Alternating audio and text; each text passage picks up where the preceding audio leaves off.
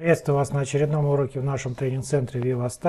В этом уроке мы поговорим о том, как можно загрузить видео на ваш канал. Но вначале, откуда возьмутся ролики на вашем YouTube-канале. Существует громадное количество способов создания видео. О некоторых из них, наиболее популярных и наиболее простых, рассказано в нашем тренинг-центре. Первый способ вы записываете свое выступление на телефон с помощью программы Camtasia Studio, монтируете это видео. Подробный видеоурок есть в нашем тренинг-центре. Можно поступить, как делаю сейчас я. Я записываю экран своего компьютера, свой голос, создаю видеоурок, опять же с помощью программы Camtasia Studio, и потом в этой же программе произведу обработку этого видео. Можно воспользоваться одним из трех платных, но шикарных сервисов. Доступ к ним и описание работы с ними у нас есть в закрытой части нашего тренинг-центра. Это профессиональные сервисы, которые позволяют создавать видео для рекламы, делать ваши социальные сети, YouTube-каналы более интересными и привлекательными. Причем это далеко не все сервисы, их колоссальное количество, но все изучить невозможно, да и абсолютно не нужно – нужно остановиться на чем-то одном своем и создавать видео с помощью этих программ. Отличная возможность это сделать на своем канале прямую трансляцию. В этом случае видео автоматически по окончании прямой трансляции разместится на вашем YouTube канале. Вам даже его монтировать не надо будет. Это самый простой и самый быстрый способ наполнить свой канал какими-то авторскими видео. Вот все варианты, о которых я только что вам рассказал, это создание авторского видео, уникального видео. Это видео, которого нет на YouTube. И, конечно, все авторское, все уникальное именно пользуется спросом и поддерживается социальными сетями и, естественно, YouTube в том числе. Но есть методика, которой пользовались, пользуются и, скорее всего, будут пользоваться люди. Это скачать чужое видео с YouTube и залить его на свой YouTube канал. Я вам не рекомендую этого делать. Не рекомендую брать ролики даже с открытой лицензией. Не рекомендую их обрезать, перемонтировать, что все в принципе можно делать и заливать на свой YouTube канал. Это все-таки не совсем вариант для эксперта. И наша задача не просто наполнить свой канал чем-то, заполнить свой канал именно качественными роликами, в каждом из которых вы показываете себя и свою экспертность. То есть не надо гнаться за количеством, нужно лучше делать все качественно. Но как скачать чужое видео, я вам сейчас покажу. Итак, в поиске YouTube пишите название того ролика или той темы, по которой вы хотите найти ролик и загрузить себе на канал. Я, например, напишу релакс. Или давайте вот так. Медитация. С первой странички не надо брать видео. Крутим самый-самый-самый низ, куда-нибудь подальше, поглубже, а, с каких-нибудь не очень крутых раскрученных каналов. Не надо брать видео, которое набирает миллионы просмотров или сотни тысяч. Ну вот, например, видео «Медитация перед сном. Полное расслабление». Щелкаю на название этого видео. Снова. Смотрю рекламу. Именно на этом люди зарабатывают по-простому на YouTube. И именно из-за этого люди стараются заполнить свои каналы любыми видео. А вот сейчас именно пошло то, что я хотел. Это очень простое видео. Здесь только звуковая дорожка и какие-то картинки, которые накладываются по-простому в той же самой Camtasia, либо можно более красиво сделать в сервисе Animoto. Ну, проще всего делать Camtasia, потому что видео очень длинное. Ну, вот это видео меня полностью устраивает. Как его скачать? Я копирую адрес этого видео, вот так. Открываю Яндекс и в поисковой строке Яндекса пишу «Скачать видео с YouTube». Без разницы, как вы это пишете, даже с ошибками, как я. В любом случае будет найден вот такой замечательный сервис, который называется Same From Net.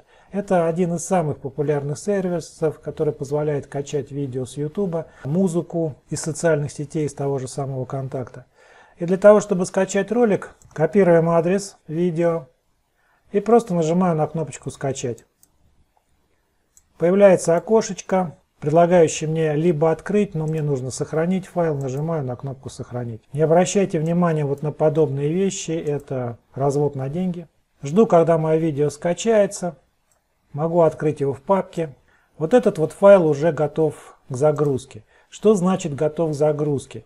У этого файла уже имя, соответствующее моему будущему названию ролика.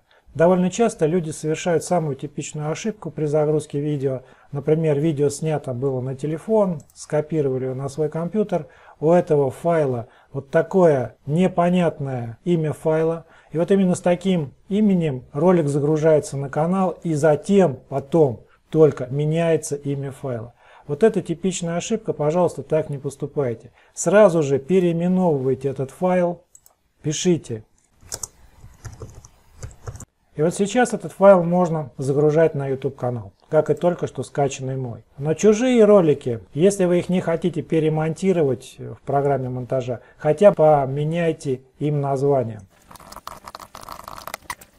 В закрытой части нашего тренинга я расскажу о том, что называется SEO-оптимизация ролика перед загрузкой. Это действие, которое все-таки позволит вашему ролику более быстро пройти индексацию в поисковых системах Яндекс и YouTube. Ролики готовы для загрузки. Я возвращаюсь на свой канал, нажимаю на кнопочку с изображением камеры с плюсиком и выбираю действие «Добавить видео». Нажимаю «Выбрать файлы». Ищу папку, в которой у меня хранятся готовые для загрузки файлы. Вот это первое мое видео. Нажимаю «Открыть». Видео подгрузилось на YouTube. Вы можете подредактировать название вашего видео, но в моем случае это исправить хотя бы ошибки. Обязательно разместите описание вашего видео. Обратите особое внимание к первым трем строкам. В этих трех строчках желательно указать самую важную информацию. Здесь должен быть какой-то призыв. Здесь вы можете разместить ссылку на продвигаемый вами ресурс. А далее напишите, о чем этот ролик. В идеале, конечно, сделать тайминг вашего ролика, то есть посмотреть этот ролик и написать, с какой минуты или с какой секунды идет какая-то информация в этом ролике. Вот посмотрите, как я это сделал для тайминга нашей. Я сейчас возьму этот тайминг и размещу в описании данного ролика. После того, когда видео появится на YouTube, вот эти временные метки станут активными. Можно щелкать на эту метку и переходить э, в нужное место вашего ролика. Но я обязательно добавлю сюда ссылку на наш тренинг-центр и размещу ссылку на свой сайт-визитку. Инструменты, сайт-визитка, скопировать URL. Конечно, очень желательно для видео загружать свой значок. В этом курсе я рассказывать не буду. Конечно, сразу же при загрузке вы можете выбрать плейлист, который вы создали уже на своем канале. Указать для кого этот ролик, войти в раздел «Дополнительные параметры», чтобы настроить параметры вашего видео. Некоторые из них очень важны. Об этом будет более подробно рассказано в следующих уроках в полной версии нашего тренинг-центра. Нажимаю на кнопочку «Далее». Что такое конечная заставка и подсказки, тоже пока говорить не буду. Нажимаю кнопочку «Далее», выбираю «Открытый доступ» и нажимаю на кнопку «Опубликовать». Появляется окошко, что видео опубликовано, и YouTube предлагает вам поделиться этим видео в социальных сетях. Если ваше видео вирусно полетело в другие социальные сети, YouTube считает, что это видео популярно. Поэтому один из самых простых способов продвижения своих роликов на YouTube это делиться им в свои социальные сети. Кто профессионально занимается YouTube, создают несколько даже технических профилей в разных социальных сетях – и делятся своими роликами в большом количестве различных социальных сетей. В полной версии нашего курса я вам расскажу о классном сервисе, он называется NovoPress.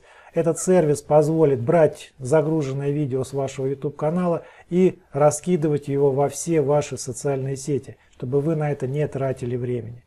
Я сейчас просто нажму на кнопочку «Закрыть» и на моем YouTube канале появилось первое видео. Что рекомендуется сделать с видео сразу же после его загрузки, я расскажу в отдельном уроке, который будет называться Activity. Обратите внимание, что вы сейчас попали в раздел вашей творческой студии. О работе с творческой студией будет рассказано в полной версии нашего тренинг-центра. А сейчас я еще одно видео загружу, нажму на кнопочку «Создать», «Добавить видео» и выберу чужое видео, которое я сказал, скачал с своего YouTube канала. Название опять же у него есть. Я ему делаю описание.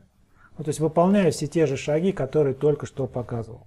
Второе видео появилось на моем канале. Видео достаточно большое и оно сейчас обрабатывается.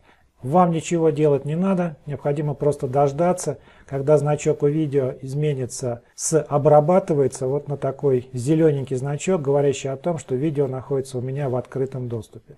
Благодарю, что досмотрели видео до конца. Если есть какие-то вопросы, пишите их в комментариях, либо пишите в техподдержку, пишите своему спонсору. А сейчас, пожалуйста, запишите, создайте несколько видео, и загрузите их на свой YouTube канал. В следующем ролике я расскажу, как создаются на YouTube прямые трансляции.